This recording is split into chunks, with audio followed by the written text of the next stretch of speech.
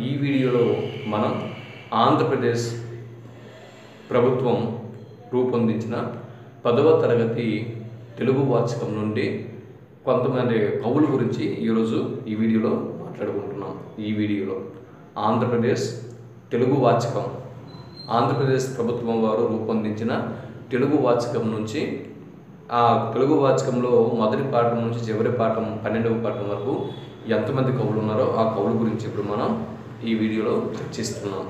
అయితే మొదటగా మనం గడియారం వారి గురించి చూద్దాం. గడియారం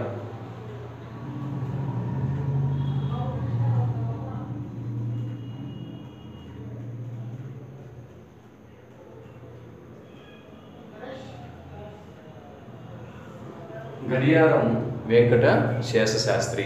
మనం చర్చించుకోబోయే కవి డాక్టర్ బోయి భీమన్న. ఈయన పదవ తరగతిలోని మూడవ పాఠ్య భాగం మూడవ పాఠ్య భాగమైనటువంటి జానపదుని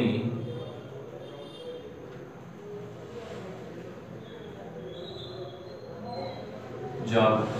మూడవ పాఠ్య భాగమైనటువంటి జానపదుని జాబు అనే పాఠ్య భాగం యొక్క రచయిత బోయి భీమన్. మరి రెండవ పాఠ్య భాగం అమరావతి. కాబట్టి అమరావతిలో కవులు ఎవరు లేరు కాబట్టి మూడవ పాఠం యొక్క కవి పరిచయం గురించి ఇప్పుడు మనం చెప్పుకోవడం అనేది జరుగుతుంది. బోయి భీమన్న కాలం పంతొమ్మిది వందల పదకొండు నుంచి రెండు వేల ఐదు. ఇది ఆయన యొక్క కాలం. దాని తర్వాత ప్రాంతం. బోయి భీమన్న గారి ప్రాంతం. తూర్పుగోదావరి జిల్లా. ఇక్కడ తూర్పుగోదావరి జిల్లా. లోని మామిడి కుదురు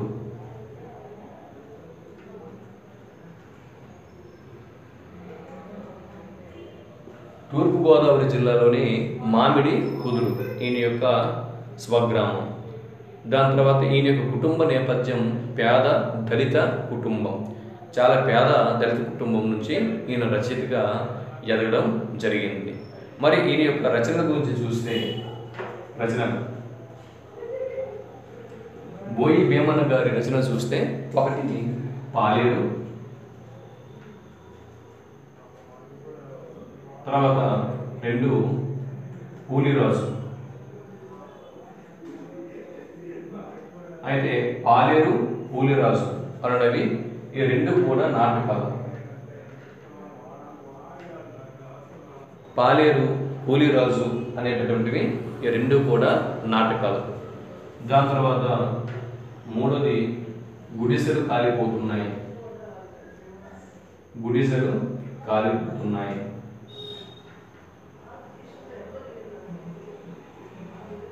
గుడిసెలు కాలిపోతున్నాయి అన్నది కావ్యం బోయి భీమన్ గారు రాసినటువంటి కావ్యం గుడిసెలు కాలిపోతున్నాయి. ఈ కావ్యానికి తను పంతొమ్మిది వందల డెబ్బై ఐదులో పంతొమ్మిది వందల డెబ్బై ఐదవ సంవత్సరంలో సాహిత్య అకాడమీ అవార్డు కూడా లభించింది. గుడిసెలు కాలిపోతున్నాయి అనేటువంటి కావ్యానికి. తర్వాత నాలుగవది పాలేరు నుంచి పాలేరు నుండి పద్మశ్రీ వరకు.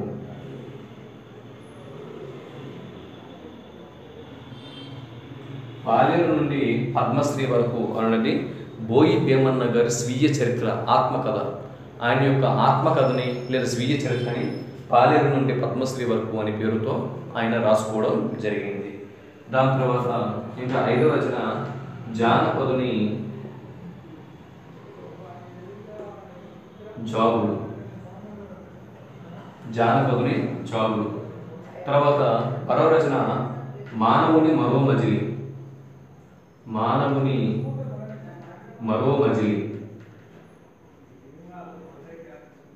తర్వాత ఏడవ రచన. రాగ వైశాఖి రాగ వైశాఖి ఎనిమిదో రచన. పైరు పంట. తర్వాత రచన పైరు పంట.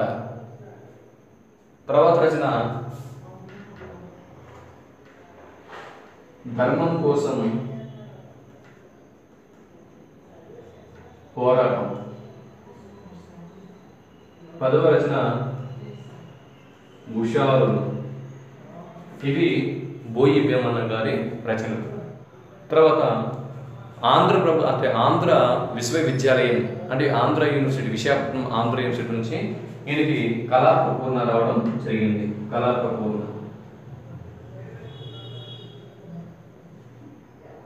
కళా ప్రపూర్ణ అనేది ఆంధ్ర యూనివర్సిటీ ఈయనకి ప్రదానం చేయడం జరిగింది. సాహిత్య సేవని దృష్టిలో పెట్టుకొని. దాని తర్వాత పంతొమ్మిది వందల డెబ్బై మూడులో పద్మశ్రీ. పంతొమ్మిది వందల డెబ్బై మూడులో పద్మశ్రీ. రెండు వేల ఒకటిలో రెండు వేల ఒకటిలో పద్మ భూషణ్ పద్మశ్రీ పద్మభూషణ్ అనే అవార్డులు ఈయనకి లభించాయి. ప్రతిభను తలెత్తనివ్వరు పండితుడు పాండిత్యాన్ని తలెత్తనివ్వరు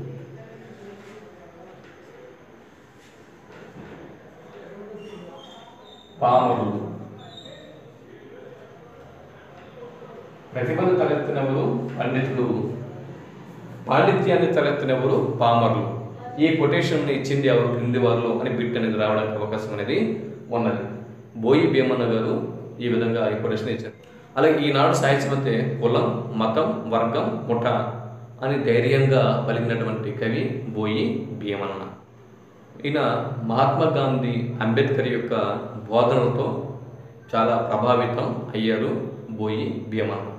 ఇది బోయి భీమన్న యొక్క కాన్సెప్ట్ ఆంధ్రప్రదేశ్ తెలుగు వాచకంలో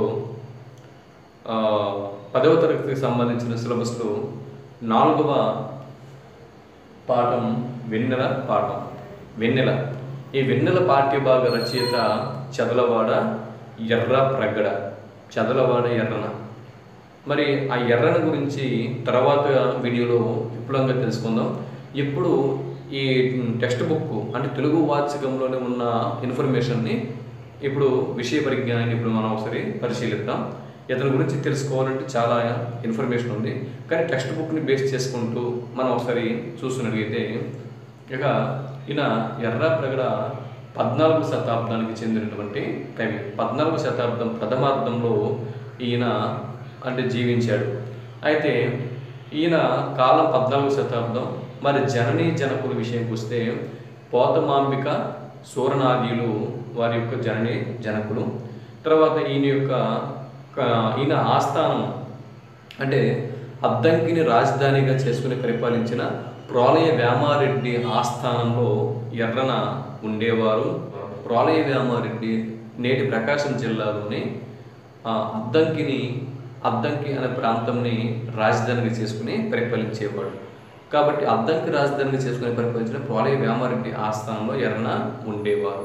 మరి ఈయన రచనలు తీసుకుంటే ఈయన రచనల్లో ఒకటి హరివంశము రెండు నృసింహ పురాణము మూడు ఆంధ్ర మహాభారతంలోని అరణ్య పర్వశాస్త్రము తర్వాత రామాయణం అది రామాయణము అలభ్యము తర్వాత ఏంటంటే ఇక్కడ ఇవి నృసింహ పురాణము హరివంశము మరియు ఆంధ్ర మహాభారతంలోని అరణ్య పరమశేషం. ఇవి ఆయన రచించారు. మరి రామాయణం కూడా రచించినట్టు చెబుతున్నా అది అలభ్యము. అయితే ఇందులో మహాభారతం తీసుకుంటే మహాభారతం యొక్క అరణ్య పరమశేషాన్ని మరి నన్నయ్య గారు ఎవరికైతే అంకితం ఇచ్చారో ఈయన కూడా ఆయనకే అంకితం ఇవ్వడం జరిగింది. రాజరాజ నరేంద్రుల వారికే అంకితం ఇవ్వడం జరిగింది. మరి నృసింహ పురాణంని ఇది దీన్ని మహోబిల నరసింహస్వామికి అంకితం ఇవ్వడం అనేది జరిగింది. మిగిలినటువంటి హరివంశము మరియు రామాయణం ఈ రెండు రచనల్ని ప్రాలయ వ్యామారెడ్డి గారికి ఈయన అంకితం ఇవ్వడం జరిగింది ఎర్ర. మరి ఈయనకి ఈయన కవిత్వంలో ఈయన యొక్క రచనలు ఎక్కువగా వర్ణనలు అనేవి అధికంగా ఉంటాయి. వర్ణలు అంటే వర్ణన. అలాగే ఇటువంటి వర్ణలు అత్యధికంగా ఇప్పుడు ఇటువంటి వర్ణనలు అధికంగా ఉన్నటువంటి రచన నృసింహ పురాణం. ఈ ఎల్లరి గారి నృసింహ పురాణము వర్ణ దీనిలో వర్ణనలు అధికంగా చేశాడు. అంటే ప్రబంధము అంటే అష్టాదశ వర్ణనలు కలిగినది ప్రబంధం.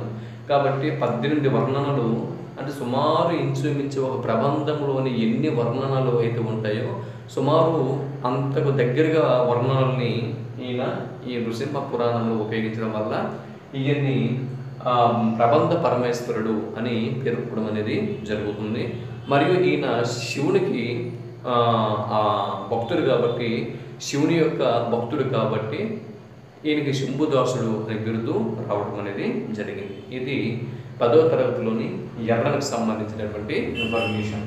అది ఇక్కడ ఈయన యొక్క ఎర్రని గారి గురువు గురించి తీసుకుంటే గురువు గారు శంకర స్వామి. అది ఆస్థానం ప్రాయ రామారెడ్డి రచనలు నృసింహ పురాణం హరివంశము ఆంధ్ర మహాభారతం రామాయణము వర్ణనలు అధికంగా ఉంటాయి.